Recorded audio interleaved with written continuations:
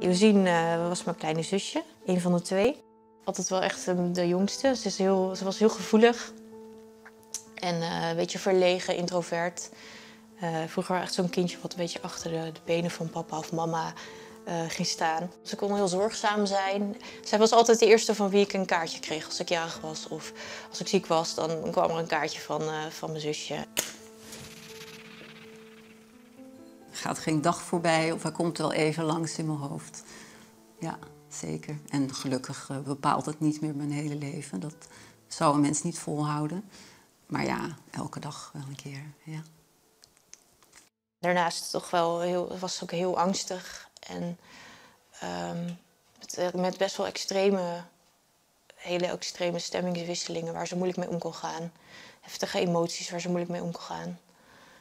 Um, ja, dat was de andere kant. Dat ze toch heel erg veel worstelde in haar hoofd. Ook al, al ja, vanaf, vanaf de puberteit of zo.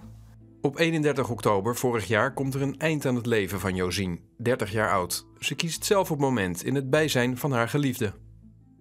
Ze heeft mij toen gewoon getroost, omdat, het wel, omdat ik het er moeilijk mee had. En uh, ik heb haar hand vastgehouden en ja, toen ze eenmaal sliep, mocht ik ook op haar hoofd aaien. En ik denk, na een minuut of acht of zo.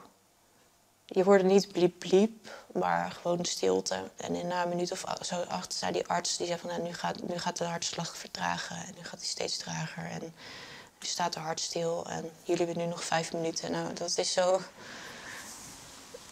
volkomen bizar. Josien beschadigt zichzelf en is al jarenlang suïcidaal. Ze heeft een eetstoornis, PTSS, stemmingswisselingen en krijgt de diagnose borderline. De hoop is er altijd. Tot op is er heel lang geweest dat ze misschien iets zou vinden. En dan zie je er uh, ja, CGT, DGT, ACT, emotieregulatietherapie. Je ziet er alles doorlopen. Je ziet er hele batterijen medicijnen nemen. En de ene periode, afhankelijk van wat ze slikte, was ze een soort zombie. Uh, ja, dat wisselde. Maar overal raakte iemand toch een soort van steeds meer de connectie met gezond leven kwijt. Hoe zeg je dat? Ja, er bleef steeds minder van over. Na 15 jaar van opnames, behandelingen en worstelen kan ze het leven niet meer aan. Ze is moe gestreden en vraagt om euthanasie. Ik accepteer al heel veel jaren dat ze het eigenlijk wilde, maar um, dat het reëel werd, ja, halfjaartje geleden. Ja. Aan de andere kant heb ik ook wel heel vaak gedacht, ze gaat er zelf een eind aan maken.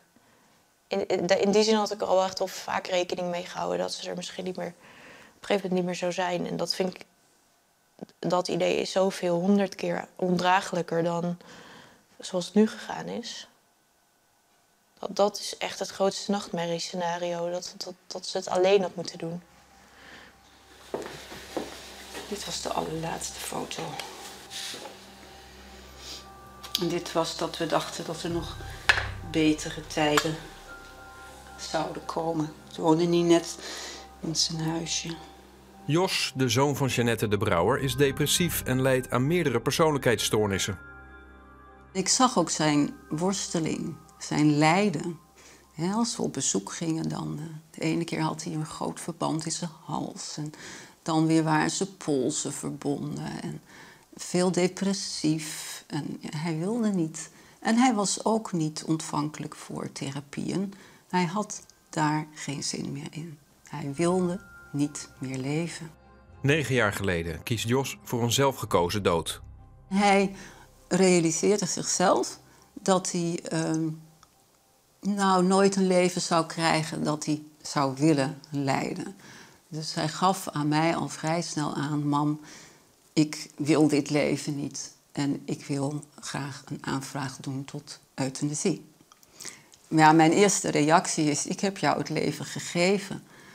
Ga ik het jou dan ook weer afpakken? Maar ja, al snel dacht ik van: Kind, als dat is wat je wil, dan moet ik er voor jou zijn. Jos en zijn moeder krijgen één kort gesprek, maar dat gaat tot hun verbazing al snel niet meer over euthanasie, maar over nieuwe therapie. We hebben er niets meer over gehoord. Ik heb geen uitnodiging meer gehad. Maar ik wist hoe slecht het met hem ging. En als je weet dat je kind dood wil en hij ook al een paar keer heeft gezegd en anders maak ik er zelf een einde aan, dan leef je tussen hoop en vrees. Dan weet je, ik kan elke dag een telefoontje verwachten of misschien ook wel helemaal niet. Jeannette's vrees wordt werkelijkheid. Het traject is te ingewikkeld en duurt te lang. Jos kan er niet op wachten.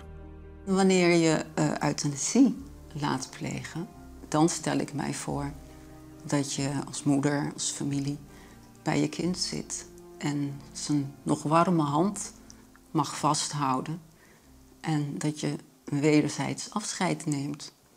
En dat is wel wat anders dan wanneer de politie aan de deur komt, die jou komt vertellen dat je zo niet meer leeft en je een dag daarna in het mortuarium staat naar een levensloos lichaam te kijken en alleen nog maar een koude arm kunt aanraken.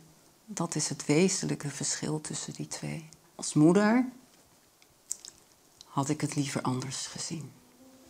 Het zou ideaal zijn als er niemand, zeker geen, nee, gewoon helemaal niemand meer zelf een eind aan zijn leven hoeft te maken op een, op, op een nare manier. En uh, zolang we dat nog niet bereikt hebben, wordt er dus denk ik nog niet genoeg over gesproken. In mijn verhaal is dit, is dit essentieel. Ik weet echt niet hoe, hoe ik er nu bij zou zitten als, als het anders was gegaan. Euthanasie bij psychisch lijden is voor sommige mensen gewoon echt het beste. Ja, het beste wat er nog is.